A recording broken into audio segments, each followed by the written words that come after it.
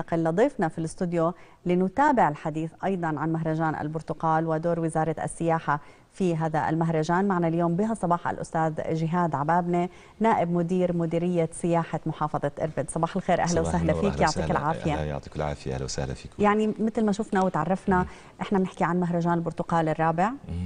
نحكي عن تفاصيل أكثر عن أهمية مثل هذا المهرجان وخصوصا سياحيا أستاذ جهاد يعطيك العافية وشكرا لكم.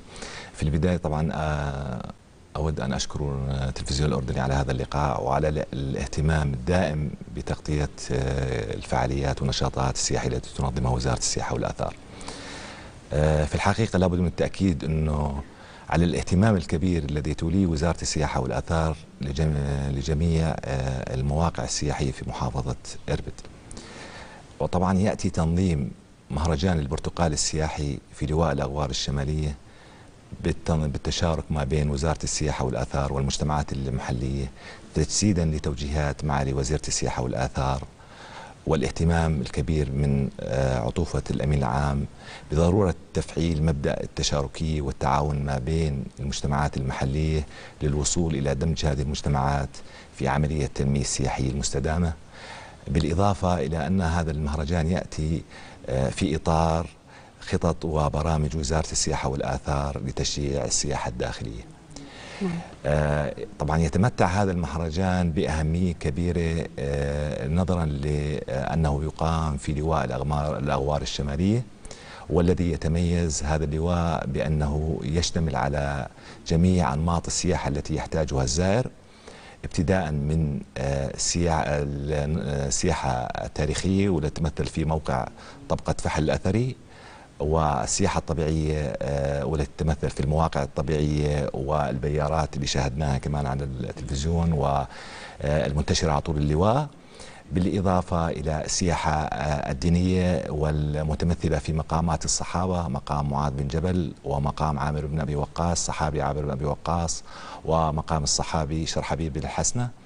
بالإضافة إلى السياحة العلاجية المتمثلة في حمة الشون الشمالية وسياحة المغامرة والسياحة الزراعية التي تعتبر السمة المميزة التي يتميز بها لواء الأغوار الشمالي بالإضافة إلى المناخ الدافئ شتاء. ونحن الآن في فصل الشتاء والتي تستقطب أعداد كبيرة من الزوار إلى لواء الأغوار الشمالي. يعني عندما نتحدث عن السياحة في إربد أستاذ جهاد إحنا دائما بنقول الأردن هو متحف مفتوح من أقصى الشمال إلى أقصى الجنوب ويتميز مثل ما ذكرت بتعدد المناخ. يعني قد تكون بعض المناطق باردة لكن هناك مناطق أيضا دافئة ممكن الواحد يتوجه لها بفصل الشتاء في محافظات المملكة. إحنا بنحكي عن الأغوار الشمالية طبقة فحل. آه نحكي أكثر عن هذا المكان الأثري اللي آه أيضا لابد من تسليط الضوء عليه أكثر ويمكن هلأ بدا في اهتمام أكثر من وزارة السياحة بهذه المنطقة وهذا الموقع آه لتسليط الضوء عليه وأيضا لجلب السياحة سواء كان السياح الأجانب اللي بيزوروا البلد أو حتى السياحة الداخلية. طبعا وزارة السياحة والآثار كما حكيت في البداية أنه تهتم في جميع المواقع السياحية والأثرية في محافظة إربد وتعمل على رفض هذه المواقع السياحية بالخدمات السياحية التي يحتاجها الزائر. طبعا موقع طبقة فحل هو موقع أثري وهو إحدى مدن ديكابولس العشرة وطبعا وزارة السياحة والآثار في ضوء اهتمامها بهذه المواقع السياحية ورفضها بالخدمات السياحية تم استحداث مسار سياحي وفي لواء الأغوار الشمالية يضم جميع أنماط السياحة بالإضافة إلى أنه وزارة السياحة عملت على إقامة مشاريع سياحية. الآن في مشروع, مشروع تم الانتهاء مشروع مركز زوار طبقة فحل والذي سيعمل على توفير خدمات سياحية مميزة للزوار إلى هذا الموقع الأثري المهم. فوزارة السياحة مهتمة جدا في جميع المواقع السياحية وخصوصا المواقع الأثرية التي يأمها الزوار وتعمل على رفض هذه المواقع بالخدمات السياحية. كمان الآن موجود الآن في استراحة سياحية في موقع طبقة فحل. وطبعا الوزارة تعمل جاهدة على أنه تقديم أفضل الخدمات للزوار القادمين إلى هذه المواقع السياحية. نعم يعني جميل. دور كبير صراحة عم تبذله وزارة السياحة آه، في مختلف محافظات المملكة ومنها آه، عروس الشمال إربد. آه، إحنا عندما نتحدث عن إربد يمكن أكثر ما يأتي إلى الذاكرة أم قيس. نعم. إلى أي مدى مثل هاي الأماكن السياحية؟ عم عم عم تشوف إنه لها رواج وخصوصا يعني لما بيكون حتى في ما فيش عنا أو بتقل نسبة السياحة الخارجية لكن إلى أي مدى ممكن يكون لها دور وزارة السياحة أيضا في تشجيع السياحة الداخلية لمثل هاي المناطق؟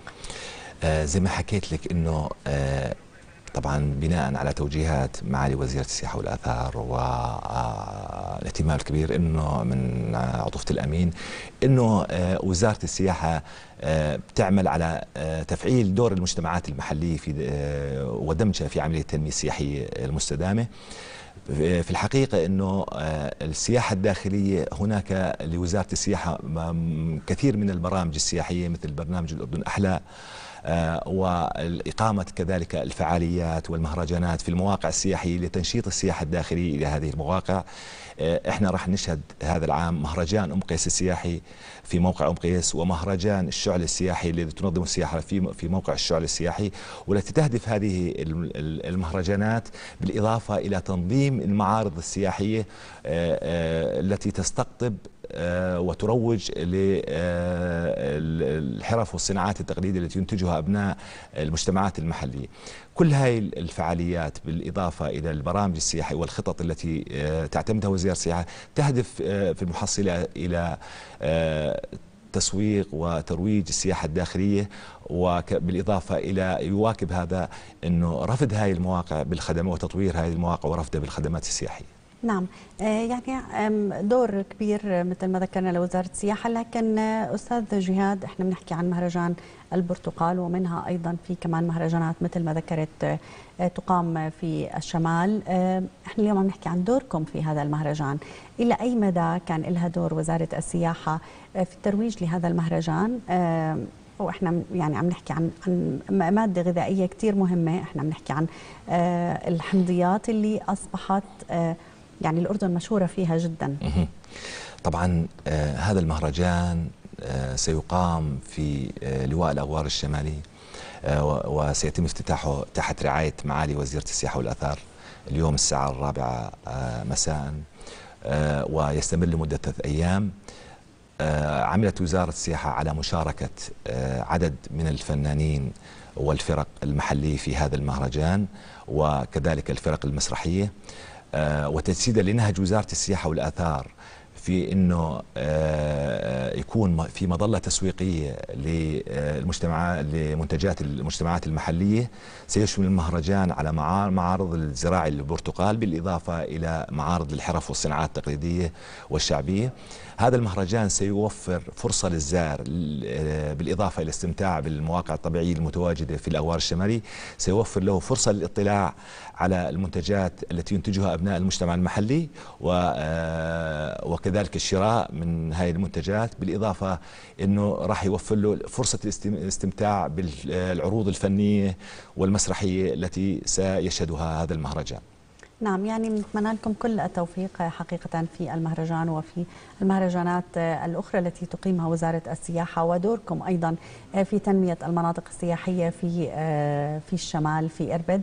كل الشكر لحضورك معنا الأستاذ جهاد عبابنة نائب مدير مديرية سياحة محافظة إربد. يعطيكم ألف عافية. الله يعافيك يعطيك العافية. شكرا لكم. أعزائي فاصل متواصلين بفقراتنا ببرنامج يوم جديد خليكم معنا.